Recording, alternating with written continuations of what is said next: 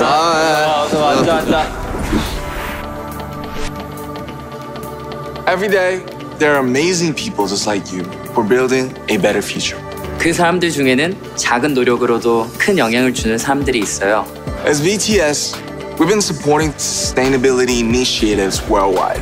One of those is For Tomorrow, a global community created by Hyundai Motors Company and the United Nations Development Program to share concrete solutions to local problems. This community inspires us, and we believe it will inspire you. Here is one of their stories. This is 24 years old, Emmanuel Alio Mansoure.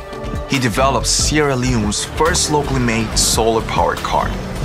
Not only is he a self taught engineer, but he also built his car from bamboo and recycled parts he found in a scrapyard. 저랑 동갑인데 혼자 자동차를 만들었다고요? 근데 진짜 대단하네요. 어, 요새는 주변에서도 친환경 차가 많이 보이더라고요. 근데 그걸 직접 만들다니. 폐자재로 만든 자동차니 환경을 생각하면 오히려 더 좋은 자동차일 수 있겠어요. That's true. Here's another incredible story. 베트남 다낭의 한 작은 마을에서 유기성 폐기물로 친환경 세제를 만들고 있는 홍 씨를 소개할게요.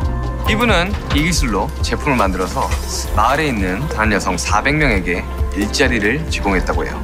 진짜 멋진 건 이분이 다른 사람들에게도 친환경 제품을 직접 만들 수 있게 가르쳐주고 싶어 한다는 거예요. 저도 직접 만들어서 써보고 싶어요. 폐기물에서 세제를 만드는 것도 멋진데 이 기술로 또 다른 선한 영향력을 주셨네요. 맞아요. 이런 분들 덕분에 세상이 더 살기 좋아지는 것 같아요. 그럼 다음 분은 또 어떤 분인가요? 이분은 아제르바이잔 바쿠의 자밀라 씨예요. 자밀라 씨는 바쿠의 지하철이 자신과 같은 장애인이 있을 때 불편한 점이 있다고 생각했었어요. 사실 우리 주변에 있는 모든 공공시설들은 어, 모든 사람이 쉽게 쓸 수 있어야죠. 맞습니다. 그래서 자밀라 씨는 이런 상황을 주변에 알리기 시작했는데요. 그렇게 시작한 영상 중 하나가 화제가 되었고 지금 바쿠 씨에는 장애인 이용자들을 위한 지하철 탑승 지원 서비스가 운영되고 있어요.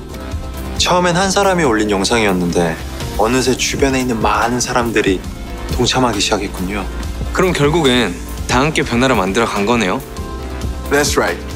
These innovators show us that we can all make a difference. So we can do the same too.